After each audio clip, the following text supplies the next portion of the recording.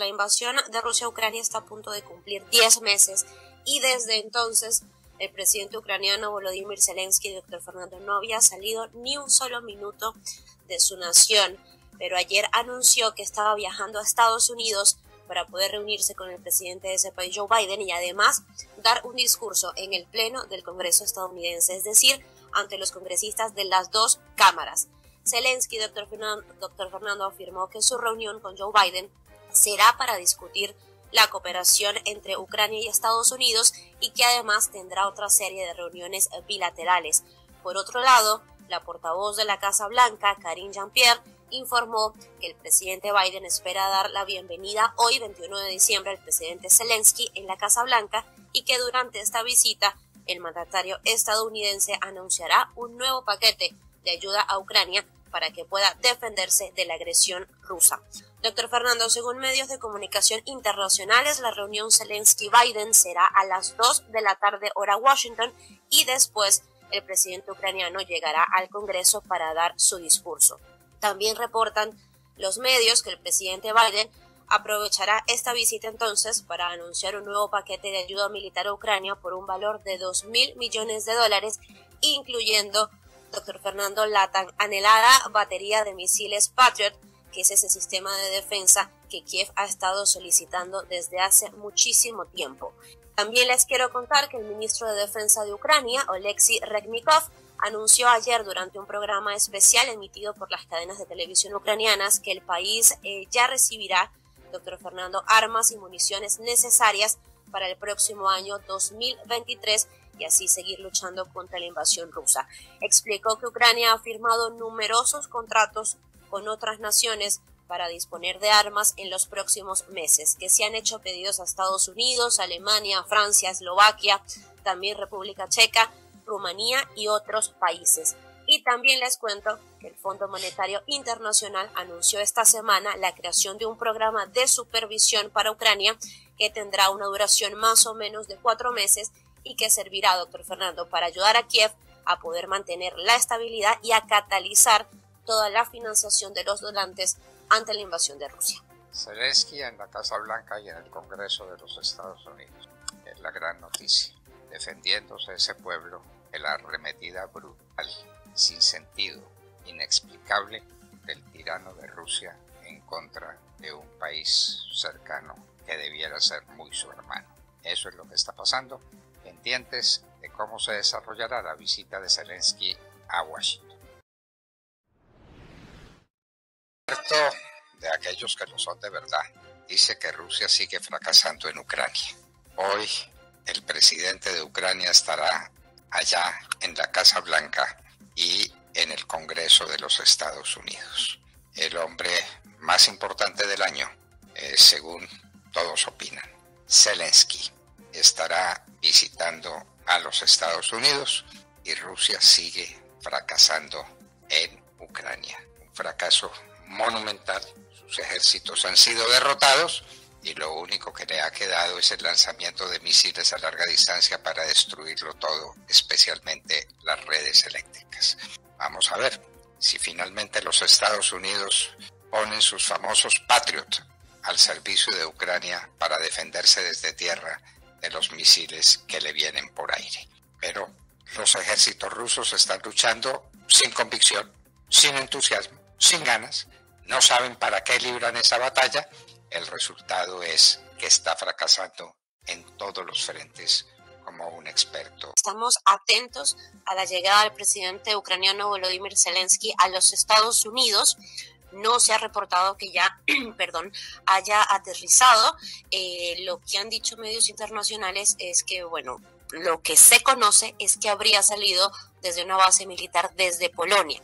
Por temas de seguridad, obviamente no se había reportado de ninguna manera, ni por parte del gobierno de Ucrania, desde donde eh, viajaría el presidente Zelensky, pero pues se dice que ha salido desde Polonia. A las 2 de la tarde está previsto, 2 de la tarde hora de Washington, está previsto que se reúna con el presidente Joe Biden y después se dirija entonces al Congreso de los Estados Unidos. No estará mucho tiempo, muchas horas el presidente Zelensky en los Estados Unidos, probablemente mañana mismo regrese a Ucrania. Mientras tanto, Putin, de Mar Vladimir Putin, y así lo anunció el Kremlin eh, el día de ayer, se iba a reunir con su alto mando militar para evaluar entonces los daños que ha sufrido sus tropas desde que invadió Ucrania en febrero de este año. Ya se van a cumplir 10 meses de la invasión. El sábado se cumplen entonces 10 meses, el sábado 24 de diciembre, y lo que parecería que, o bueno, lo que él creía que iban a ser dos o tres días para llegar a Kiev, pues se le ha convertido ya en estos 10 meses con eh, una cantidad de bajas en sus tropas y bueno, cada vez se ve más difícil el desempeño de, eh, de, Rusia en Ucrania y ahora más de mar cuando se espera que el presidente Joe Biden anuncie entonces que sí se enviarán eh, pues a estos misiles eh, o el sistema de defensa antimisiles Patriots que bueno recuerde son uno de los más eficaces del mundo y los tiene Estados Unidos y bueno parece que por fin podrán ser enviados entonces a Ucrania, que es una ayuda que ha pedido el presidente Zelensky desde hace muchísimos meses, eh, unido con la conformación perdón si no se usa esa palabra, creo que sí, ¿no? Como eh, creo que está bien dicho, la conformación de un tribunal especial para que se eh, juzguen los crímenes de guerra cometidos por Rusia. Esos dos, esas dos peticiones, pues las ha hecho Zelensky desde hace muchísimo tiempo. Pues el día de ayer, doctor, Londoño, el gobierno de Joe Biden pidió a la Corte Suprema de Justicia que permita el fin del título 42, la política sanitaria implementada por el exmandatario Donald Trump en marzo de 2020 para frenar la entrada de inmigrantes como consecuencia de la pandemia de COVID-19. Pidió el poner fin a las restricciones al asilo, pero solicitó al máximo tribunal del país una prórroga hasta por lo menos después de Navidad. Estados Unidos ha negado a los migrantes la posibilidad de, solicitar asilo en 2.5 millones de ocasiones desde marzo de 2020, con el argumento de evitar la propagación del COVID bajo el amparo de una norma de salud pública llamada Título 42. Estados Unidos es uno de los países donde más afectados por el coronavirus. El gobierno federal reconoció en su solicitud a la Corte Suprema que el fin del título 42 probablemente provocaría trastornos y un aumento temporal de cruces fronterizos ilegales, pero pidió al tribunal que rechace los intentos de un grupo de estados de tendencia conservadora de mantener en vigor el título 42. Estados fronterizos que enfrentan una seria crisis por la migración obtuvieron un respiro que podría ser breve en su intento de mantener vigente una medida conocida como el título 42 que permite a las autoridades expulsar a los solicitantes de asilo. En una apelación de última hora, la Corte Suprema argumentaron que el aumento brusco de la cantidad de migrantes afectaría a servicios tales como el mantenimiento del orden y la atención de la salud y advirtieron que podría haber una calamidad sin precedentes en la frontera sur. Por otra parte, doctor Londoño, el gobierno tenía 24 horas para emitir una respuesta a la Corte Suprema que el lunes por la tarde dio razón a 19 estados republicanos en su pedido de mantener la política para frenar la entrada de migrantes por la frontera sur. Aseguran que acabar con el título 42 causaría un daño irreparable al país. En su comunicado, la Casa Blanca pide al máximo tribunal que si decide levantar el título 42 antes del 23 de diciembre, le da hasta las 11 y 59 pm del 27 de diciembre para prepararse. Recordemos, doctor Londoño, que desde, desde, que fue implementada esta medida han negado más de 2.5 millones de ingresos a migrantes en busca de asilo. Entre el 15% y 20% eran extranjeros que habían tenido más de un encuentro con las autoridades migratorias y habían sido rechazados. El pasado 16 de noviembre, y tras una petición por parte del gobierno, un juez federal del Distrito Capital había fijado el 21 de diciembre como plazo máximo para la eliminación de la política sanitaria para considerar, por considerarla caprichosa y arbitraria. Pero la Corte Suprema decidió el lunes mantenerla y dejó sin afecto aquello orden del Tribunal Interior.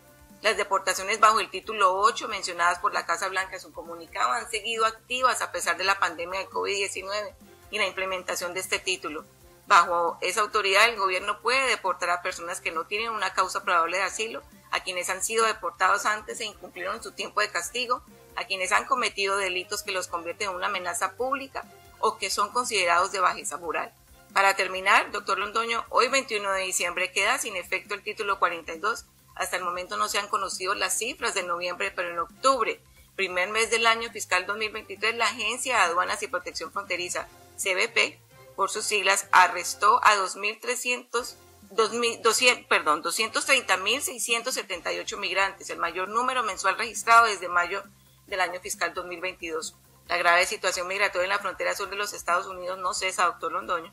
No cesa. no cesa la situación migratoria en el sur de los Estados Unidos. ¿Y por qué la gente no se pregunta por qué razón? Salen por miles los habitantes de distintos países, especialmente de Nicaragua y de Venezuela. ¿Por qué salen corriendo, afrontando todos los peligros, soportando todas las privaciones?